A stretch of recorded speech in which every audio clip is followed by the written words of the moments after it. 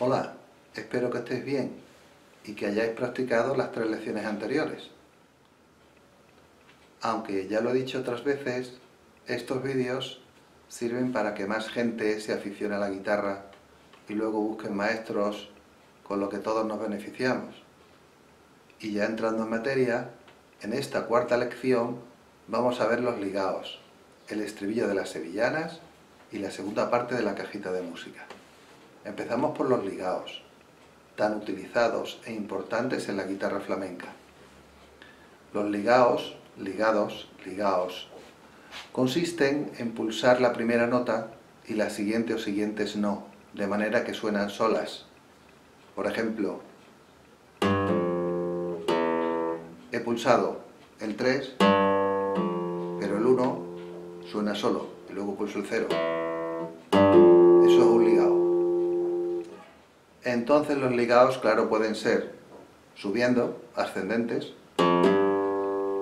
o bajando, descendentes. O podrían ser las dos cosas. Subes y bajas. Bueno, entonces vamos a hacer tres ejercicios sobre ligados. El primero sería subir y bajar un traste. Muy fácil. Doy la primera nota y la segunda tengo que hacerla sonar con el dedo.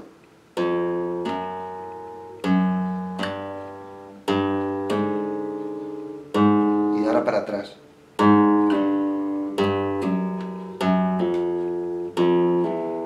Vamos a hacerlo un poquito más rápido.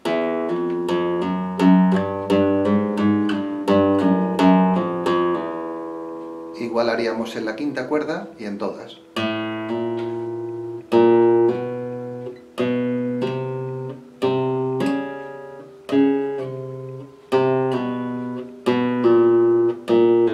Claro, cuando vamos para atrás es normal tener el dedo ya preparado.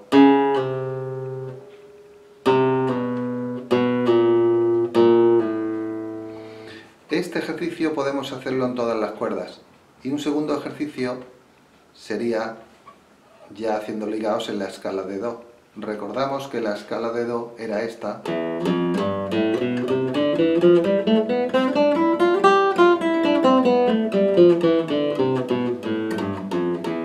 Pues vamos a hacer los siguientes ligados.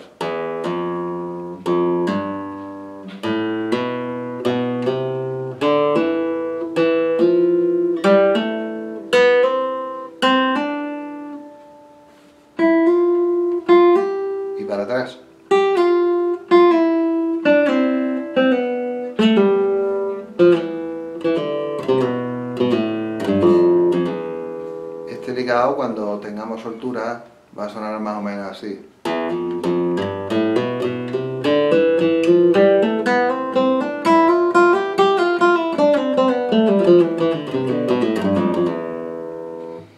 Y un tercer ligado en donde eh, están implicadas tres notas, que podía ser este. Hemos dado solo la primera nota, las otras suenan con los dedos.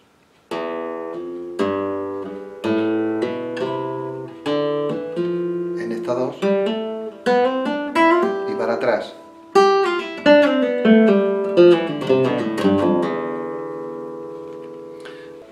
Tenemos tres ejercicios para practicar ligados. Y cuando hayamos practicado un poco podemos hacer esta aplicación práctica con la famosa melodía del reloj de la Plaza de las Tendillas de Córdoba que como vemos en el gráfico hace esto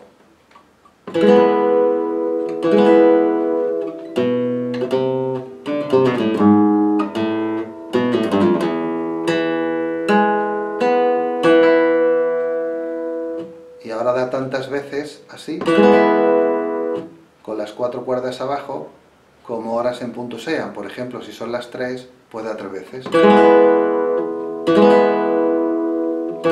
Vamos a hacerlo despacio. Es como poner mi, pero le quitamos este dedo, por lo tanto podemos ponerlo así y pulsar las cuatro cuerdas de abajo con el pulgar. ¿Ves que pone una P? Y otra vez.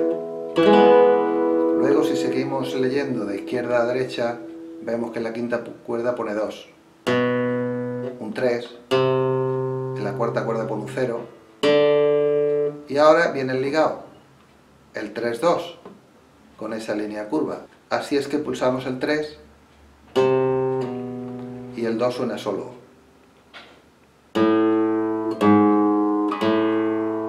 Ahora con el 2-0, con el 3-1,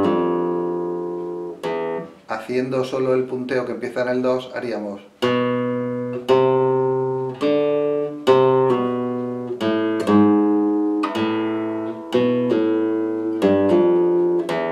Vale, y todo junto, despacito.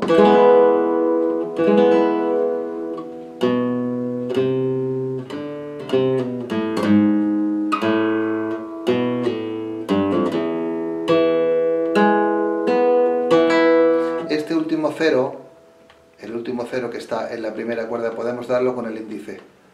Pulgar índice. ¿Ves? Bueno, hasta aquí el tema de los ligados.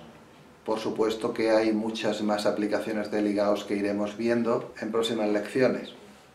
En segundo lugar, vamos a ver el estribillo de las sevillanas, que como observamos en el esquema, sería así.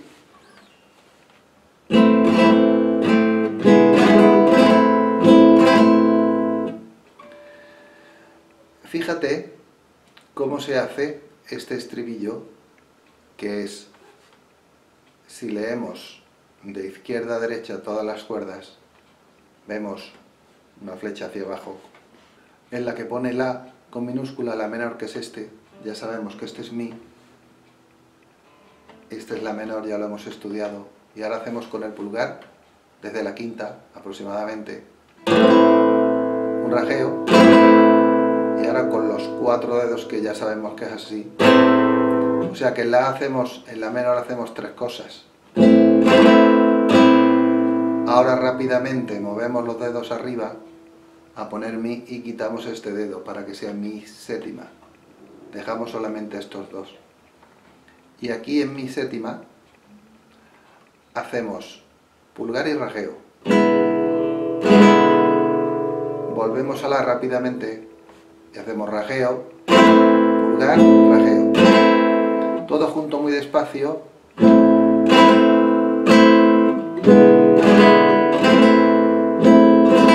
Y a su ritmo. Este estribillo se hace entre letras de las sevillanas, por ejemplo, en esta de... Algo se muere en el alma cuando un amigo se va. Y entre letras se vuelve a hacer. Hoy vamos a ver solo esto y ampliaremos el toque de las sevillanas en próximas clases. Y ya en tercer lugar, vamos a ver la segunda parte de la cajita de música. Ya sabemos que la primera parte que vimos en la lección 2 hacía esto.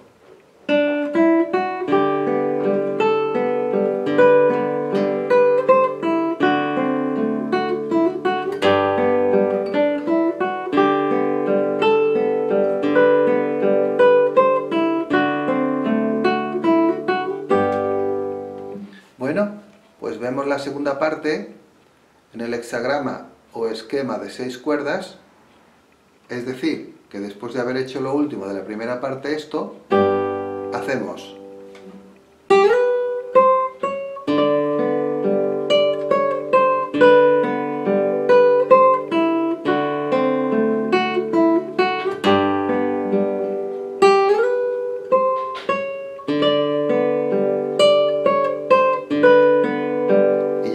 es igual que la primera parte.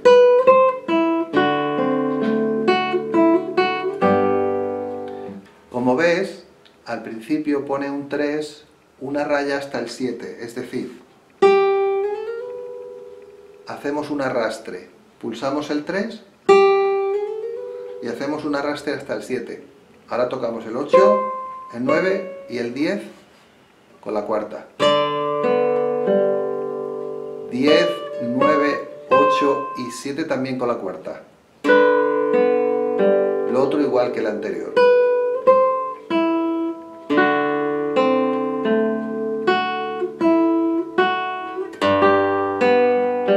Y lo otro es igual, salvo el último tirón que es las cuatro cuerdas.